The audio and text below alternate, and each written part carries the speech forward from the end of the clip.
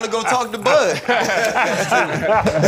I read somewhere in the rematch clause where he said he don't know if he'll take it if he lose or when he lose, as you might think. Do you believe him? If I beat the beat the will out of him, he probably won't take it. Wow. It's scary how calm y'all talk about taking a man's soul. like when I when I go to fight people, like I be loaded up, like they gonna bite my lip, and you be like, yeah, I'ma just uh, I'ma just like take everything out of him when he don't even believe in himself no more. Hey, stop that cat. Man down. Errol Spence says Terence Crawford probably won't take a rematch after he beats the ever loving snot out of him. And that's what I'm going to talk about in this video. What up, Fight World? It's your boy Ego with some more boxing. So, Errol Spence, that was all access. Showtime is doing a hell of a job. All Access Episode 2 premieres today. Just in time, Frank Martin is fighting a bronze medalist Olympian. I will be tapped in with that fight tonight on Showtime. So they're pairing, just like when you have a good steak, you some people want to pair a nice wine with it. You get a nice little red wine. You want some chicken and pasta, you get a nice little white wine and pair it with it. That's what Showtime is doing. Should be a fun night of boxing. Viktor Postol is on the card. And again, Frank Martin, which is Errol Spence's man down, start that cat. Yeah, definitely. I definitely, I believe that, definitely. Right? He's fighting, and then paired with that is the all access. So that was just a snippet. And that was BTS scenes of Errol Spence. He was on a podcast, the Pivot podcast to be specific, and they were talking to him about the fight in general. And one of the talking points was kind of what took so long for this fight to come across. And again, it's just a snippet that's out right now, so I haven't heard it in its entirety, but I've seen that portion, so there might be more to it. So I'll probably make a future video about that. But the part I did see, Errol Spence was being like kind of questions about what took so long for the fight to happen, that kind of thing. And Errol Spence said, because I'm the A side, big fish, free smoke, Junior, and I know I am when you're talking about popularity, putting butts in the seats, generating money. I'm the A side, I'm that dude. But Crawford somehow believed that he was that dude and he kept bringing up other stuff.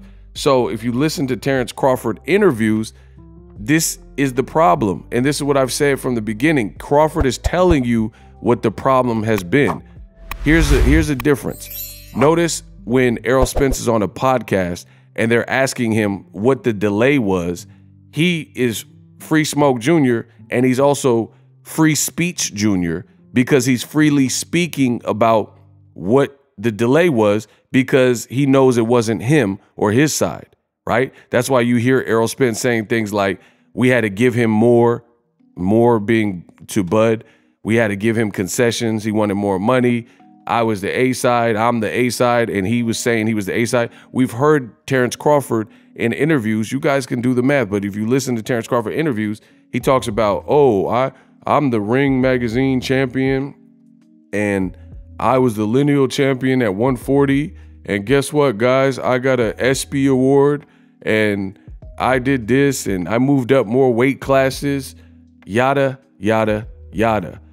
But Errol Spence, his comeback he said Crawford wanted all this stuff based on his perceived accolades, but Errol Spence's response was beautiful. He says, You can't take that to the bank. Like, I'm putting butts in the seat and creating commerce. I'm making people buy tickets. 50,000 people are filling up the AT&T stadium where the Dallas Cowboys play. 30,000 for the Ugas fight, you know, and so on. In the pandemic with Danny Garcia did great numbers him, Canelo, and Gervonta did the best gates that particular year, right?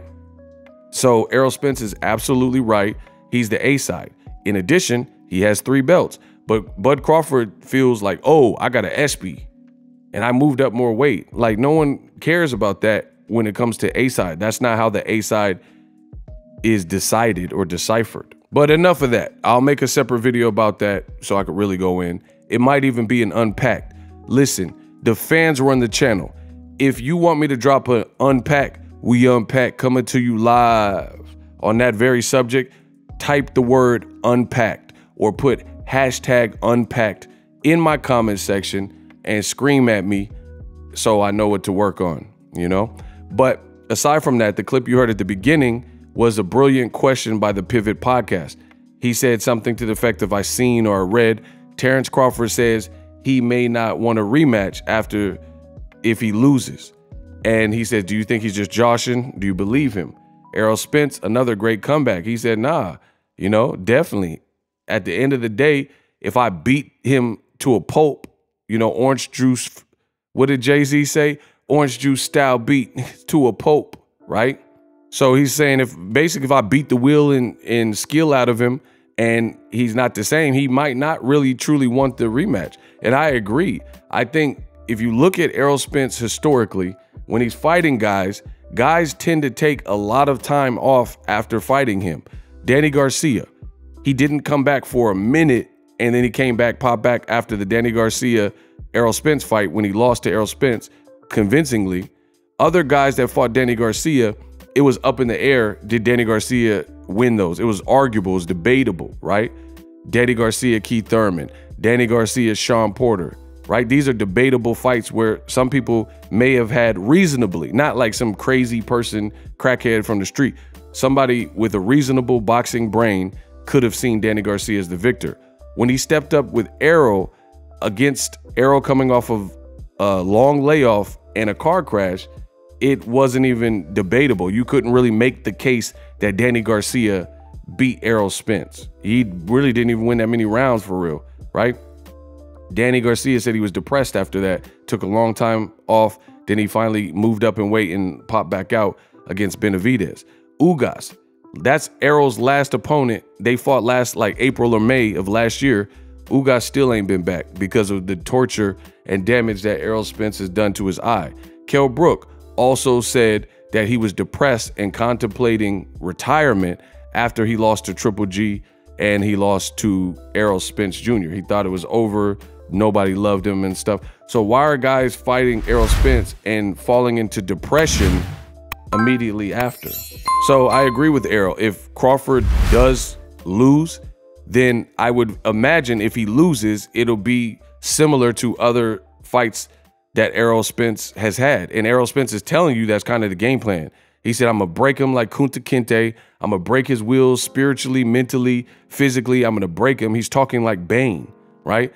And he said these things. So I think that's the game plan. So if Crawford were to lose this fight, which I think Errol Spence wins here, then I think it would be per damage. Like he Errol, you'll you'll know you've been in a fight with Errol Spence. So yeah, he might not want the rematch afterwards. Let me know what you guys think. If you want that unpacked, put hashtag unpacked or type the word unpacked.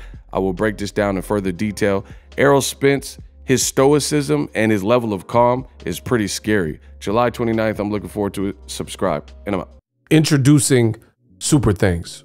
Right here on the official Boxing Ego YouTube. Super Thanks allows you, the viewers, to show a little bit of extra gratitude, which enables me as a full time content creator to push out the content you need in the world of boxing. Underneath all the videos, you will see a heart with the dollar sign in it. You can enter any amount that you find suitable as a super thanks. A brand new, interactive, and colorful way to get your comments highlighted and noticed by not only myself, but other people on the YouTube platform. Super thanks, a unique and cool way to show and applaud us full-time content creators. Hopefully you guys enjoy the content. Super thanks.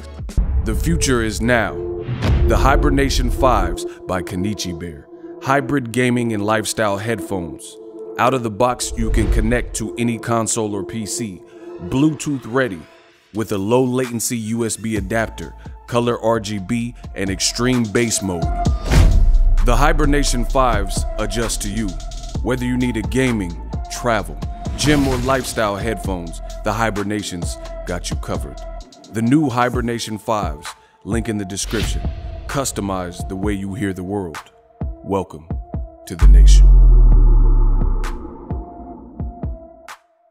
Are you tired of your YouTube videos not getting any views? Well, consider TubeBuddy. I've used TubeBuddy for years to scale up my YouTube channel. Now we're sitting over 200,000 subscribers. TubeBuddy is a browser extension that offers a ton of built-in productivity and time-saving services to take your channel to the next level. Use my link in the description to get started with TubeBuddy and level up your channel faster. We working.